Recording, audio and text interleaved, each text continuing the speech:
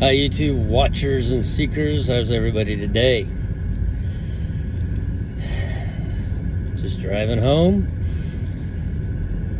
Everyone comes to these pages because you're hoping and praying and watching and you're just dreaming of one of us coming up with an idea about when this is going to happen. And we're studying. We're studying each other. We're talking to each other. A lot of uh, a lot of us that are on here trying to figure this out. We uh, talk to each other quite a bit. Try to see if uh, we can figure out the date. The date. The date. The date when it's going to happen. The date when we can all walk outside. The Bible tells us if you don't watch, you will not know the day and the hour I'm going to show up. Clearly says it. If you're watching, you're going to know the day and the hour. And I believe that. I believe that for a very long time. Very heated discussions over that subject with many Christians over the past 30 years um, that we're going to know. We are going to know exactly when it's going to happen. I still firmly believe, though, you are a Christian. You are a watcher.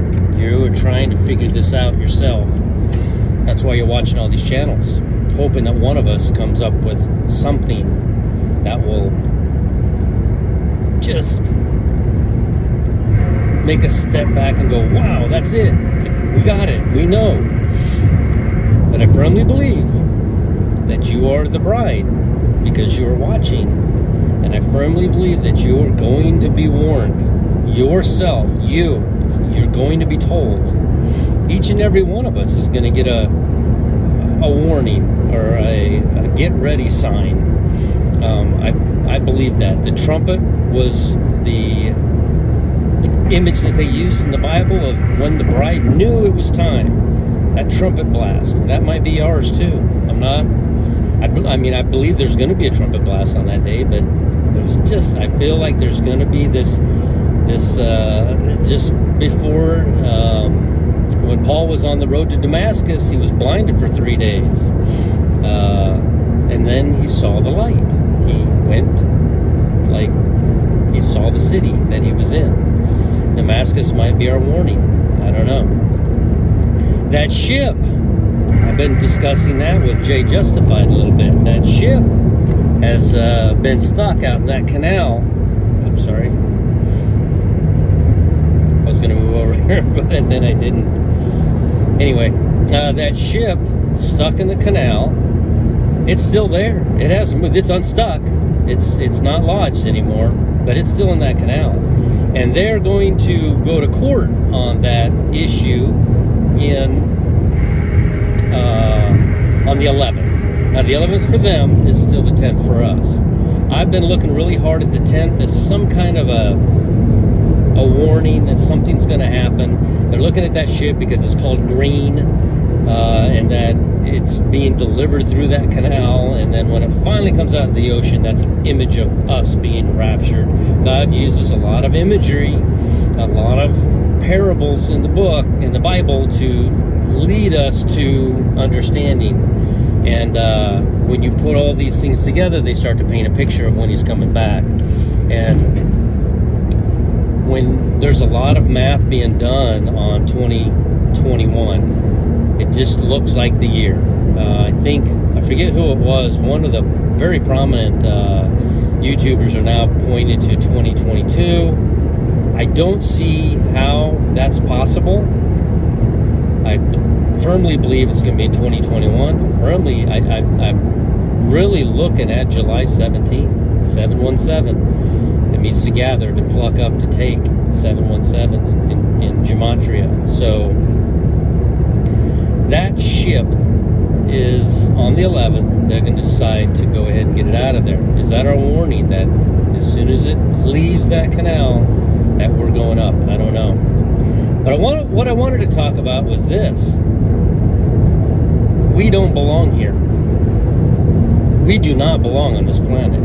Our bodies are not designed to be on this planet. when we sin, our bodies are changed. This planet is designed for another type of body. A body that doesn't get hot, doesn't get cold, it doesn't drown, doesn't get hurt. It's a different type of body. It's the one you're going to receive when you go to heaven. I hear too many people, young people especially, stating, Well, I haven't hardly lived my life. You're in a body that's not designed to live your life here. Go up to the North Pole without a coat and see how long you last. Go out to the desert without some water and see how long you last. In these bodies, we don't last. We're not designed to be. I don't think the planet changed much aside from thistles growing up and it being difficult to uh, to uh, grow food.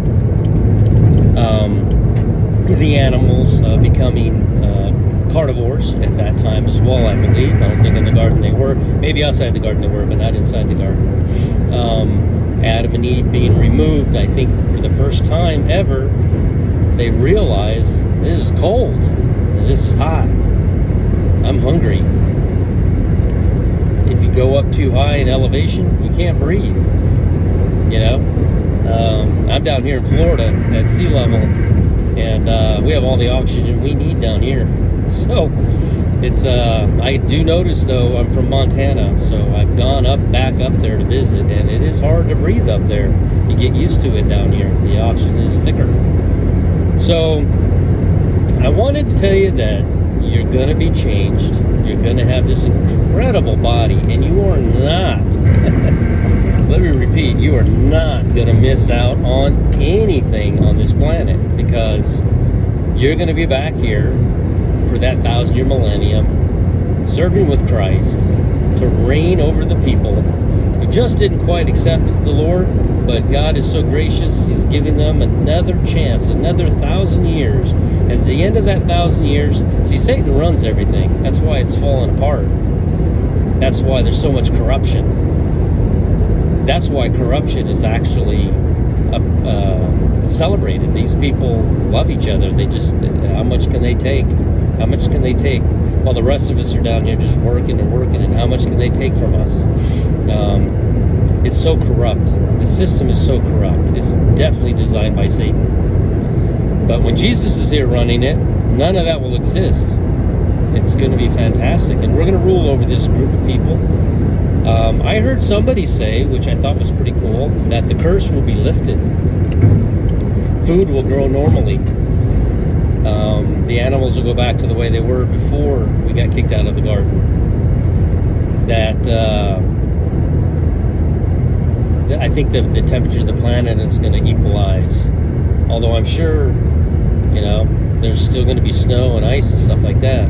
But I just wanted to give you a little, uh, just something I was thinking about. For those people who are kind of on the fence, not sure, you know, kind of still in love with this planet, don't be in love with this planet. You are not going to miss anything. You're going to have a super body and you're going to be reigning with Christ, and it's going to be incredible. And you know, you'll be able to climb a mountain without worrying about falling down because you won't make a mistake. You don't make mistakes when you have that glorified body. Uh, you'll be able to go into the skiing and snow skiing without all the, the stuff because you just won't get cold. So it's going to be so much better. Our minds can't even conceive of how amazing it's going to be here shortly. And man, if it's on the 17th, all the better. That's right around the corner.